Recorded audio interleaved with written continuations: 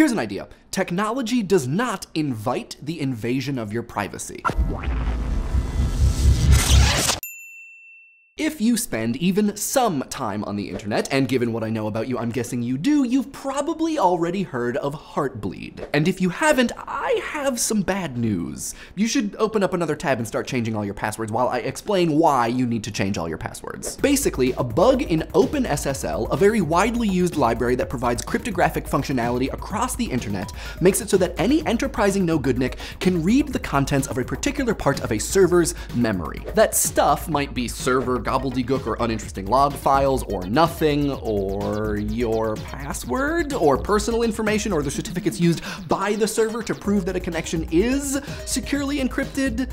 Whoops. And hey, no big deal, but maybe the NSA, you're gonna love this, maybe they knew about it and were using it since like 2012, just to see what you were up to. It's fine. Anyway, from a technological standpoint, Heartbleed is incredibly fascinating, and if you wanna know more, Sean at Computerphile made this awesome video with Dr. Steven Bagley that you should watch. What we're gonna talk about is how Heartbleed, as the latest in a long string of privacy concerns, can make us feel a little vulnerable. Like, okay, sure, many parts of the internet behave as public spaces, but we also have these other spaces on the internet that we think of and treat as private. Like your email account, probably your bank website, that YouTube channel where you only upload privated videos of you singing Queen into a wooden spoon.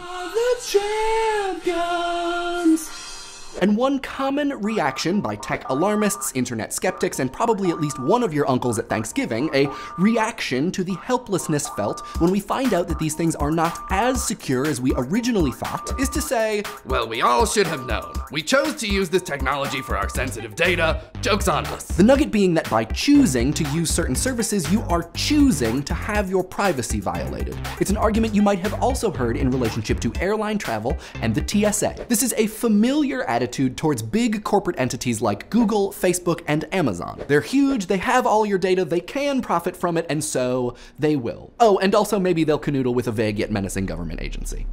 But Heartbleed is now causing some folks to ask, as the web grows, will it necessarily become less secure? In a piece for the New York Times titled exactly that, Farhad Manjoo says, we have decided as a society to rush headlong into a world ruled by digital devices, continually weighing convenience versus safety. We are constantly storing more of our important information on new hardware run by complicated software, and all of it is increasingly interconnected, which makes the whole ecosystem more vulnerable. Manjoo takes the hopeful approach that as these factors become more visible and impactful, the public and the industry will take them more seriously. But for others, it raises a bigger question. Technology, is it good or is it whack? Do we need to interrogate our fundamental choice to even be using potentially vulnerable services? By using the internet, are we choosing to have our privacy invaded? I think no, but first off, I don't have much of a soft spot for you were asking for it style admonishments. By claiming this kind of thing is the user's fault, we effectively absolve all the miscreants using privacy exploits. Sure, if no one were using technology, then we wouldn't be having this conversation and the problem would be solved, but that's not so much a solution as it is an alternate universe. Because honestly, how much are you choosing to use technology. You did have a choice when signing up for an email account or a dating website, and so maybe you tried to choose the most secure and respectable one. So yes, you did have a choice in that respect. And I suppose you also chose to have an email address in the first place. You chose to have a computer and a bank account, and you choose to pay taxes every year and wear shoes every day. What I'm trying to say is that if we are choo choo choosing to do these things, then we are doing so within a framework of much larger and much, much more complex choices. Like choosing to be comfortable, choosing a safe or convenient life, choosing to align ourselves with the expectations and preferences of our social group and society, choosing to fit in. I'm not saying that anyone is forced to do any of these things, and I'm also not saying that we're isolated from the ramifications of using technology, having a bank account, or wearing shoes. Only that insofar as this is a choice, it's a very different kind of choice from the one that you make when standing in front of the Ben & Jerry's freezer at the grocery store. I'm a mint chocolate cookie man myself. When a teacher asks you for an email address to send you assignments, you can choose to say that you don't have an email address. You can choose to do zero of your banking or shopping online, but let's be honest, Will you? Of course, for many people, there is no choice. Social or economic factors prevent them from using widely adopted technology, and so the choice is made for them. In the way that much of the US, for instance, is put together assuming that residents have a car, much of modern life and even some modern ways of thinking are built upon assumed access to the network. And when someone doesn't have that access, we consider it, rightfully so, I think, a problem that needs solving. So before we even ask if by using technology we are somehow choosing to have our privacy invaded, maybe we need to know to what degree we are even choosing to use technology. I think for a lot of us, we're not, or we are not simply choosing. You could absolutely choose to get rid of your phone, computer, or internet, but by extension, for better or worse, you would also be making the much larger choice to uninvolve yourself from, well, a lot. So maybe really what the choice argument is saying is that having your docs hacksorted is an inevitable consequence of using the internet. Or if it's not, we should think of it as one. And I don't know, maybe it is an inevitable consequence, but at least as far as popular culture is concerned, portrayals of the network have always gone hand in hand with those of a clever infiltrator. The insecurity of the internet is probably one of its biggest and most popular features. If a bank gets robbed and your safety deposit box is stolen, you probably wouldn't think to yourself, ugh, should have known. But on the internet, if someone hacks the Gibson or compromises the mainframe and steals all of your data, well, that, that's just what happens. Run antivirus. Give me a systems display. What do you guys think? By using certain services, are you choosing to have your privacy invaded? Is the internet necessarily insecure? Let us know in the comments. And after you're done changing all of your passwords, please subscribe. The passwords are far more important. Comments, you're tearing me apart! Let's see what you guys had to say about Nanar. Okay, so first and foremost, a million movie suggestions. So for people who need more things to watch, get a pen and a paper ready. I'm only gonna say the ones that I'd never heard of. So here we go. Chris Menning, who is an old friend of mine, suggests Garth Marenghi's Dark Place, and a lot of other people suggested that too. Uh, Aadel Bussinger suggests Manos, The Hands of Fate, and also links to an LA Times article about why we love bad movies that was really interesting. Um, be the Trouble You Want recommends Pool Boy Drowning Out the Fury, and John Oku uh, recommends The Lost Skeleton of Cadavra, which a, bu a bunch of other people also recommended, and it looks just ridiculous.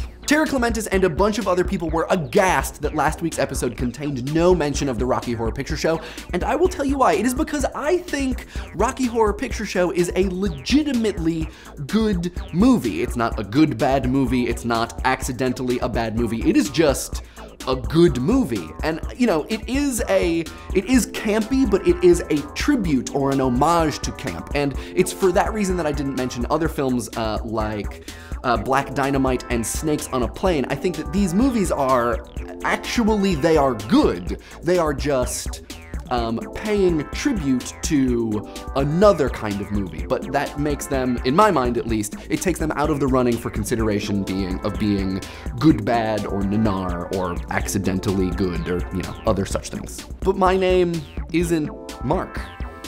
I'm fed up with this world! Okami G15 raises a really interesting point about Nanar and says that even if you could make one on purpose, that doesn't necessarily automatically mean it will become as popular as something like Troll 2, and that it requires such a bizarre collusion of events to make those kinds of movies the cultural touchstones that they are. And yeah, this sort of gets at the question of making any kind of celebrated thing on purpose, right? This idea works just as much for good movies as it does for so bad they're good movies. You can make the best thing and it could just languish in obscurity for eternity.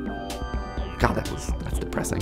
Flawless Logic brings up the Tim and Eric show, which we talked about actually a little bit on the IRC last week, and yeah, Tim and Eric might be the most complicating example of this kind of media because it really is so earnestly what it is. And I don't know, the something about the the satire and the parody that they engage in almost takes it completely out of consideration for me, but then I just, I would love to know how their brains work, I think is what I'm trying to say. Yes, I don't know. What do you guys think? Where does Tim and where does the Tim and Eric show fit in this whole thing? I, I have no idea. Relatedly, Science Sonata brings up Sweet Bro and Hella Jeff as another kind of complicating piece of media, and yeah, I mean, maybe someone, if someone does have an almost superhuman sense of irony, they might be able to achieve the distance needed to do this on purpose. And yeah, maybe Andrew Hussie is that. Flishlish writes a really insightful comment about the nature of goodness as it relates to creative endeavors, and that if something accomplishes what it sets out to do, it is therefore, almost by definition, good. And so for a movie like Sharknado that accomplished exactly what it wanted to, badness kind of doesn't even factor into it, which I think is, that's a good insight. Um, and relatedly, the conversation between uh, Rudy the horror rat and the sorrel that takes place in response to her comment is, is also really great, so you should check it out. We put links to this one and all the other comments in the doobly-doo. I'm about to really embarrass Morgan by asking him this question, and he has to use this take. Morgan, whatever happened to the caps lock poetry? He's smiling uncomfortably, so I think that that means we're gonna, we'll make it happen. We will. Okay, there we go. This week's episode is brought to you by the hard work of these bleeding hearts. We have a Facebook and IRC and a subreddit, links in the doobly doo. The tweet of the week comes from Wesley the Futile, who drew an awesome caricature of my big silly face. And hey, guess what? We won a Webby for first person.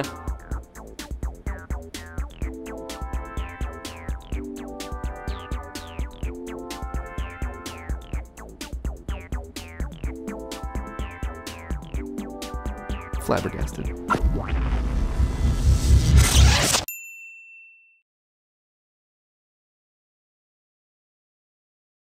And for this week's record swap, we will be replacing the Clockwork Orange soundtrack with the soundtrack to Fantastic Planet, or Le Planète Sauvage.